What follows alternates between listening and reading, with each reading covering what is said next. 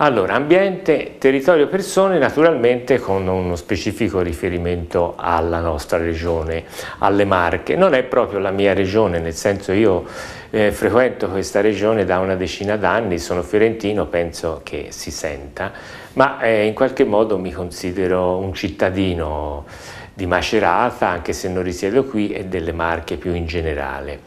Allora, ambiente, siamo abituati a considerarlo nei termini generali, non generici, di ambiente naturale, tant'è vero che eh, possiamo sostituire un sinonimo di risorse naturali e intendiamo tutto quello che è eh, vivo e morto, cioè fatto sia di piante, di animali, ma anche di rocce, quello che si chiama la biosfera è contemporaneamente vivo e morto, ma senza uomo. E, e questo ha una sua dignità di studio eh, una sua dignità di studio autonoma con un sacco di eh, professionalità che ci stanno sopra, anche dure, scienze dure che si occupano dall'ingegneria alla geologia, cioè scienze che approcciano il problema eh, quantitativamente, eh, scientificamente con un metodo scientifico specifico che è quello della misura dei fatti in termini quantitativi per cercare di trovare delle spiegazioni eh, al funzionamento della natura. Eh, nelle mie materie ci si occupa di questa cosa ma come dato di fatto, nel senso eh, si prendono da altre professioni, appunto dai biologi o dagli ingegneri o dai geologi, la descrizione dell'ambiente in termini di risorsa naturale. Io sono un economista applicato, vengo dall'economia agraria, ora mi occupo di economia del paesaggio e di promozione del paesaggio in termini di marketing non del paesaggio né dell'ambiente ma del territorio. Quindi abbiamo detto eh, ambiente, in questi termini per ora evidentemente molto generali, non generici, perché dietro le mie parole ci sono anche delle cose specifiche, delle professioni appunto come dicevo che misurano il mondo in tanti termini. Poi eh, bisogna però per approcciarsi alle scienze sociali o all'economia, un approccio economico che è quello che si può privilegiare, ma anche un approccio sociale e geografico all'ambiente, dobbiamo cominciare a parlare di territorio e territorio, eh, come ricordano alcuni dotti, non deriva da terra, la parola territorio, ma deriva da terrore, dal latino terrere, ma pigliamolo in senso buono, no? nel senso di un potere che eh, detta le regole, detta un ordine al, a un pezzo di terra, quindi con territorio si comincia a introdurre l'idea di dare delle delimitazioni che non sono soltanto quelle naturali, la montagna o il fiume, il mare che ci separa da altre zone, da altre parti, da altri sistemi geografici, ma un potere un potere politico che può essere poi amministrativo, può essere più o meno buono, cioè può essere un terrore autocratico oppure una democrazia. E noi viviamo in una uh, situazione eh, di democrazia, cioè quello che è l'assetto territoriale, come ci piacerebbe che il territorio venisse usato, è in mano al popolo, il potere sovrano è dal popolo. Nel senso il terrore non diventa più eh, il terrore come era qui di, mh, mm, della famiglia di Federico da Montefeltro qui che eh, governava queste terre e le governava più o meno bene, ma insomma con eh, una sua idea di potere che controlla gli assetti territoriali, ma siamo noi, il nostro sistema è democratico e complica le cose, la democrazia complica la gestione territoriale, per cui potremmo studiare, studiamo eh, anche nelle materie di economia del paesaggio, marketing del territorio che si fa nella laurea di turismo ma nella specialistica, eh, come lo Stato possa intervenire a regolare eh, i fatti ambientali che sono in effetti diventati territoriali. Da qui l'idea di abbinare a questo eh, ambiente territorio, visto che c'è un terrore fatto dal potere politico, terrore mi raccomando è sempre tra virgolette nel senso di un potere che, può, che ha diritto di governare, che impone delle leggi, e la parola persone. La parola persona me interessa molto perché ci ricorda che ci può essere un approccio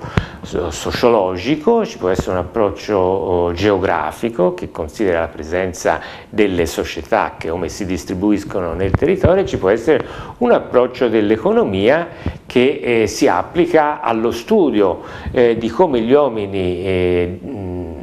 si rapportano con l'ambiente in termini di eh, economia, l'economia vuol dire il governo delle risorse quando sono scarse per utilizzarle nel modo migliore possibile e qui l'economia storicamente ha battuto la testa, con, cioè è arrivata dopo gli altri a trattare di ambiente, ha dovuto in qualche modo adattare gli strumenti. L'economia ha come strumento principale unico, per semplificare il mercato che semplifica l'incontro tra produttori e consumatori, cioè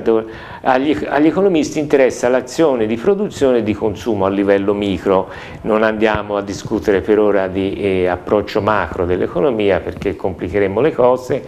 eh, ma insomma ci interessa come si produce e come si consuma. Allora, l'ambiente e il territorio è facile individuare chi lo consuma. Per esempio ai nostri studenti di turismo insegniamo che i turisti sono degli, dei consumatori, gente che usa il territorio, il paesaggio per trarne un beneficio e questo è il consumatore. Ma questo territorio che poi diventa paesaggio, cioè cosa che si vede, che assume certe forme, chi lo produce? Ecco, l'economia si arrampica sugli specchi, colleghi economisti mi scuseranno dell'espressione arrampicarsi sugli specchi, nel senso si trova in difficoltà perché lo strumento principale del mercato prevede lo scambio delle merci attraverso un segnale fondamentale che sono i prezzi. Se io so quanto una cosa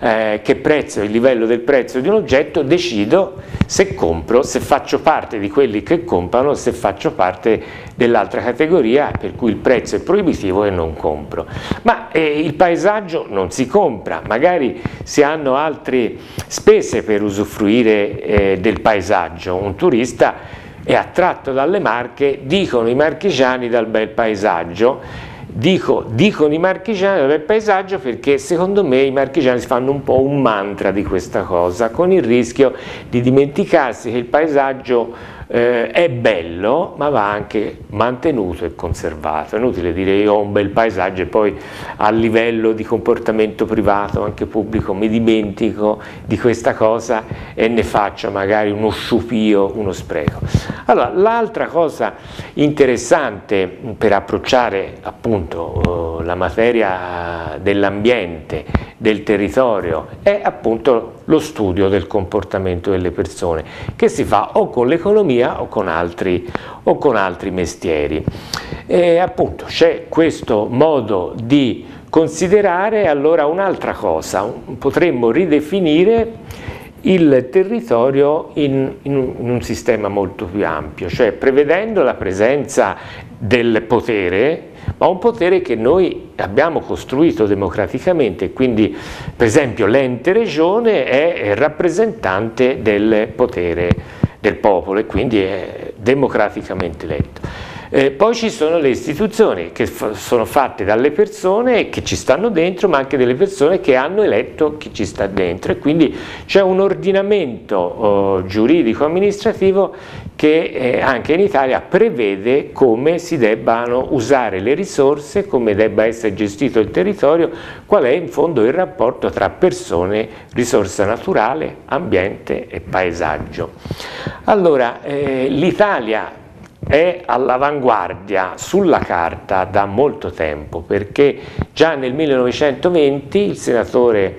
Croce, Benedetto Croce, eh, preparava la strada a quella che è l'articolo 9 della Costituzione con una proposta di legge in cui diceva lo Stato si deve occupare del bene pubblico, il bene pubblico del bel paesaggio in poche parole e il, il pensiero di Benedetto Croce è entrato nell'articolo 9 della Costituzione dove dice lo Stato si preoccupa a cuore, difende, protegge la ricerca scientifica e il paesaggio. Non è, non è un caso che l'articolo 9 sia fatto di un riga e mezzo, io non lo so citare a memoria, ma insomma eh, prevede la tutela del paesaggio e della ricerca scientifica. Punto. Dice due o tre parole L'Italia è stata quindi all'avanguardia nell'idea che esiste un bene comune che deriva dall'ambiente, che diventa territorio e che poi va visto come paesaggio, cioè vale non solo il punto di vista di chi governa, ma anche il punto di vista di chi guarda. Ecco perché paesaggio, nella definizione di paesaggio più semplice, quella di primo acchito, è la porzione di territorio che si abbraccia con lo sguardo. Basta aprire un vocabolario e banalmente si trova questa definizione. Questa essere all'avanguardia da parte dell'Italia forse è stato un dramma, perché una volta che abbiamo costituzionalizzato la salvaguardia e la protezione del territorio, poi ci affacciamo e vediamo un fenomeno molto banale, che ha un nome altrettanto banale, abusivismo. Cioè, quello che dicevo prima, una volta abbiamo detto il paesaggio è bello, avremmo necessità di avere una consapevolezza che è bello e che abbiamo una responsabilità anche individuale dei comportamenti, cioè il bel paesaggio l'hanno prodotto i nostri genitori con grande fatica perché facevano i contadini e i boscaioli. E ora? Se io porto turbe di turisti, magari venissero più turisti, consumo cose che si chiamano ambiente, territorio e anche paesaggio. E i turisti quando vengono qui magari pagano eh, per eh, stare in un albergo, pagano per mangiarsi il ciauscolo, vinci sgrassi, ma non pagano un prezzo esplicito per godere del bel paesaggio. Ecco, manca eh, eh, un modo per trasferire la risorsa che viene dall'uso libero che se ne fa della risorsa naturale a chi deve poi produrre e mantenere il paesaggio. Per esempio potremmo aprire tutta una grande discussione se gli agricoltori abbiano diritto a ricevere un pagamento e di fatti la politica agricola l'agricoltura, ricordo, il settore da cui vengo, è sempre stata improntata a questa idea che i contadini, gli agricoltori meglio, debbono essere in qualche modo rimborsati dalla società perché forniscono un servizio che è un bene pubblico che è appunto la manutenzione del territorio e fanno un servizio anche al, al turismo, non solamente tramite l'agriturismo, no? come spesso dice io faccio il turismo dentro l'agricoltura, bene, però se i turisti vengono qua vengono anche perché vogliono girare posti ameni, vogliono girare per le valli e per le montagne delle Marche, oltre che andare a fare un turismo propriamente detto quello di massa che si può fare sul, eh, sulla costa marchigiana. Ecco, le Marche, una punta negativa, soffrono secondo me di una um, consapevolezza su questi fatti. Secondo me ci vorrebbe una maggiore consapevolezza da parte delle istituzioni, eh, da parte a tutti i livelli, sia regionale che eh, provinciale, perché spesso c'è una mancata coesione, una mancata coordinamento. Non posso entrare qui in particolari, ma per esempio nella stesura dei, del piano paesistico ambientale regionale è previsto, la rivoluzione c'è stata nel 2000, con l'adozione a livello europeo della Convenzione europea del paesaggio poi nel 2004 con l'adozione del codice urbano, lì c'è stata una rivoluzione, tra virgolette, nel senso che doveva essere considerato il punto di vista delle popolazioni locali, nel dire questo paesaggio mi va bene così, questo paesaggio mi va bene così. Non è sempre colpa dell'istituzione che non è in grado di coinvolgere democraticamente le persone, delle volte dal basso manca questa consapevolezza del diritto-dovere di partecipazione alle scelte pubbliche. Pianificazione non è solo un atto che viene dal centro, dovrebbe essere un atto compartecipato, con una partecipazione delle comunità che la Convenzione Europea del Paesaggio chiama esplicitamente a dire la loro. Grazie.